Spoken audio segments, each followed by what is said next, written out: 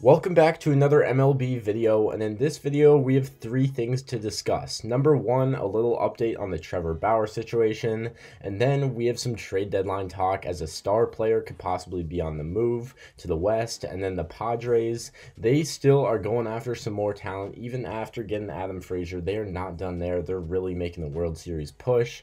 So first for the Trevor Bauer update.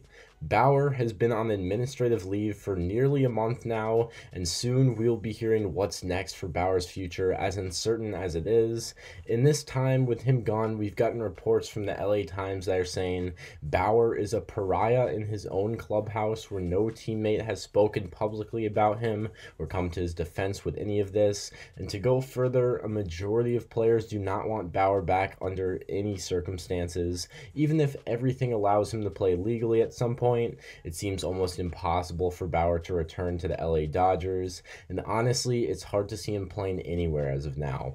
This offseason, when they signed him, they figured that his Cy Young caliber pitching would outweigh his reputation, but now it's the opposite, as his bad reputation and legal situation is by far outweighing anything he has done on the field. This has just turned into his mess, as his teammates don't want him back under any circumstances, and that's a majority of the clubhouse, too. That's a lot of guys that have been getting to know him for a while now over this season and the whole offseason as well. So let me know your thoughts on this. What will happen with this Bauer situation?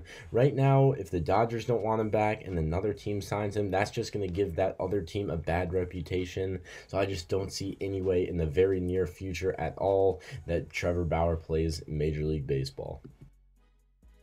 The Seattle Mariners currently have the longest playoff drought of any North American sports franchise at an even 20 years right now. That's right, 20. They've been turning some heads this year, though, looking a little ahead of schedule in their most recent rebuild, with some of their younger guys stepping up. We've been hearing some rumors over the past couple weeks that they can look to add at the trade deadline or at least not be complete sellers, but now that may be coming into a reality as this weekend was a huge series for them. They made a statement and took three out of four over their rival Oakland A's, who not only are their division rivals, but they also are currently the team they're chasing for a wild card spot. Now they move to just one and a half games back, so it's looking a lot more realistic after this series. Maybe some people don't believe in them, but one and a half games, you can just outplay them by two games for the rest of the year, and it's their spot to win.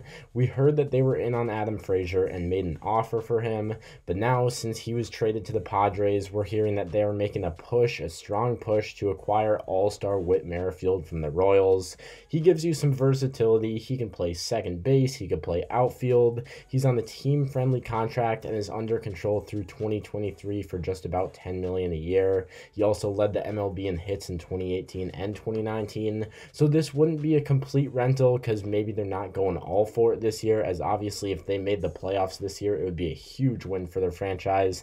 It would shock a ton of people. But what it could do, it could give them a piece that will help them the second half of this year. And when they want to be contending over the next year or two, he can be there for them as well. And then they could always flip him for something else if they keep him and then they want to trade him at some point if he doesn't fit their window. But either way, this would be fun to see them go for it. As if we see a wild card race with the Mariners, A's, maybe we see the Blue Jays or even the Yankees make a push. That could be some fun baseball to end the season. For the last story of this video, it's about the Padres. Last night, they went out and got an all-star second baseman, or he could be in the outfield, Adam Frazier.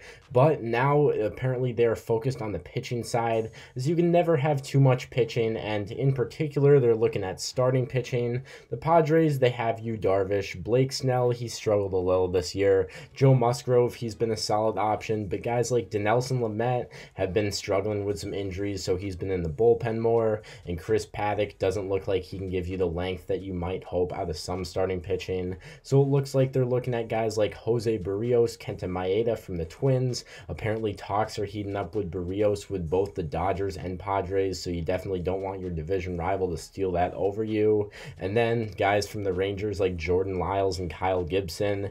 And then there's other guys like the Rockies, Jon Gray, Royals, Danny Duffy. He's on the injured list now, so we don't know how that will affect things. And then obviously there'll be in on some of the top reliever options as well. Craig Kimbrel, he seems like he's going to be the top prize possession for bullpen help. So let me know what you guys think. Who will the Padres get on the pitching front? Apparently they're targeting starting pitching, but they're in line to make some more big moves, and Adam Frazier was just the start for them.